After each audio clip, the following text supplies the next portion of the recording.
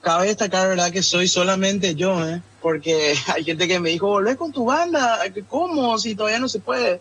Inclusive varios músicos me escribieron al privado y me dijeron que cómo iba a ser, ¿verdad? No. Eh, hay que tener bien en claro de que soy solamente yo. Yo también tengo unos shows eh, antes de la cuarentena y obviamente durante la cuarentena no pude hacerlo. Entonces eh, estuve, vamos a decirle, eh, tratando de ver una manera de poder reinventarme con otras cosas.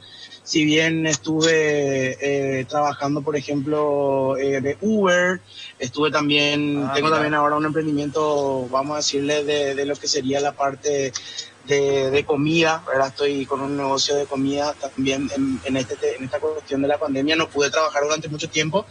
Digo no pude porque eh, ahora creo que ya se va a empezar a mover, al menos el sector cultural ya eh, sin público ya vamos a poder tener ensayos otra vez y cosas así. Y bueno, con eso justamente vino la cuestión de esta publicación que yo hice justamente porque en los, los casamientos, eventos, vamos a decirle, de menos de 10 personas hasta un máximo de 10 personas van a ser, eh, ya, ya están permitidos, obviamente con un protocolo que, que evidentemente eso tiene que lanzar el Ministerio de Salud. Lo que yo hice justamente fue habilitar un canal para que la gente pueda ir agendando ya sus shows. eh, para que puedan evidentemente contar con mi show explicando bien la salvedad de que soy solamente yo porque no, no, no está permitido todavía la aglomeración de personas al nivel de lo que veníamos antes, ¿verdad? Entonces sería un show unipersonal, es lo que voy a brindar, que sería yo solo. Héctor, por las dudas, porque casi Sí. nada se te ve, solamente cuando pasan autos. La luz ahí de tu auto funciona, pa- ahí mejor. Sí, ahora sí, ahora sí. Estaba oscura. Ahora sí. Claro, lo, lo que pasa es que quería causar expectativa, ¿no? Ah, se me acabó. Lo El fantasma de la ópera ya era. Lo que mencionaba Héctor, que por ahí nadie, bueno, mucha gente no sabía, es que también estuvo trabajando De Uber. como Uber. Imagínate subirte y que Héctor maneje y, y tengas la dicha de saber que es él y le digas, ¿puedes cantarme algo? Y que acceda a eso. ¿Te pasó, Héctor? Contá. Vos sabés que eh, no me pasó, pero sí la gente, luego de que se bajaba del Uber y evidentemente veía mi foto, o, o- porque como tenía el tapaboca todo el tiempo cuando Claro. voy a. Uber, tengo que tener tapaboca, por eso son la- la- las reglamentaciones, ¿verdad? Eh, luego veía mi foto al momento de pedir el Uber, te sale la foto, ¿verdad? Entonces Sí. era muy simpático, me dice, vos no cantás por las dudas. Tenía medio nosotros. vergüenza de preguntarme. Cuando, así como nosotros nos preguntan, Pero- vos sos la chica Eh. de la radio, así Eh, como de sí, costado, sí, sí. ¿verdad? Como que no quiere la cosa. ¿Y cuál fue tu experiencia como Uber? Contanos un poco, ¿cuál fue, cómo fue tu experiencia, digamos así, trabajando de Uber? Y bueno, eh, en realidad es algo que a mí me encanta manejar, me gusta mucho manejar, inclusive cuando tengo show en el interior, eh, casi siempre soy yo el que maneja, tanto de ida como de vuelta.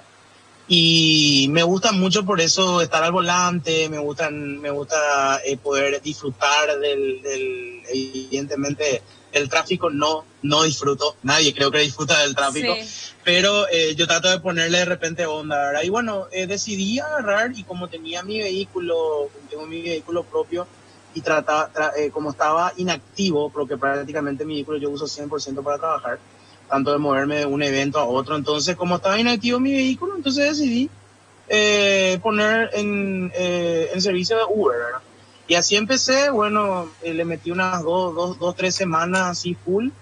Y ahora eh, ya me dedico netamente al tema de, del tema de los sándwiches porque eh, me gusta mucho también la cocina. Estudié también para, para chef hace unos años.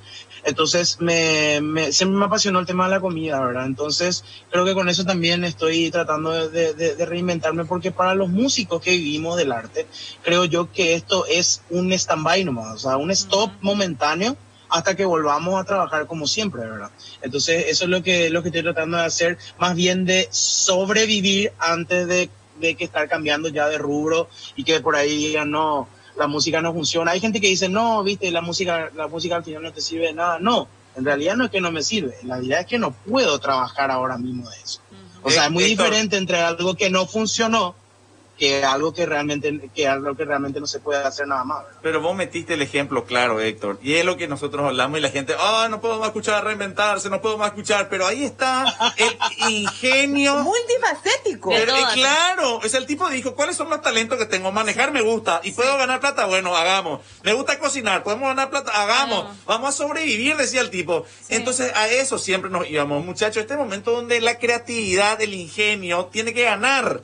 Eh, no puede, y ahora está queriendo meter el show. Sí. Él, él vio la oportunidad y dijo, bravo, casamiento, 10 personas. Puedo. Yo, yo puedo cantar ahí de Puedo la... ser una de las 10 personas. Claro, desde la vereda ahí afuera, lo- me, me- me- coloco bien en la esquinita y te canto. Yo te llevo, ¿eh? Voy yo a- con mi canción llego. ¿eh? Voy a contar una infidencia y permitime, te pido disculpas si no te gusta, pero voy a tener que contar.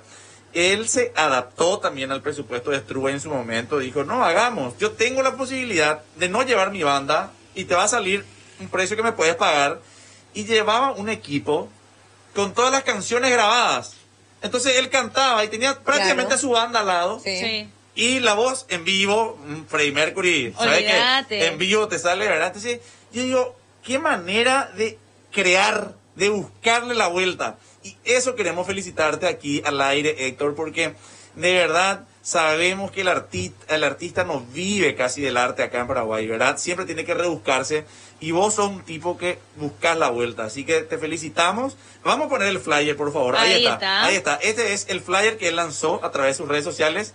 Dice show unipersonales para todo tipo de eventos también. Fechas disponibles, dice que es lo más importante. Hay fechas disponibles, así que la gente que nos está escuchando a través de Universo 970 y la gente que nos ve a través de Gen, eh, búsquenlo a Héctor Candy en sus redes sociales y comiencen a agendar nomás ya.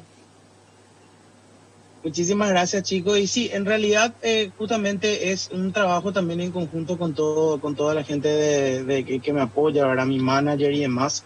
Eh, todos estamos en la misma situación, todo el rubro de música, de eventos. Eh, acá está, acá está sin trabajo hasta el que está, hasta el que hace el asado para los eventos está sin trabajo.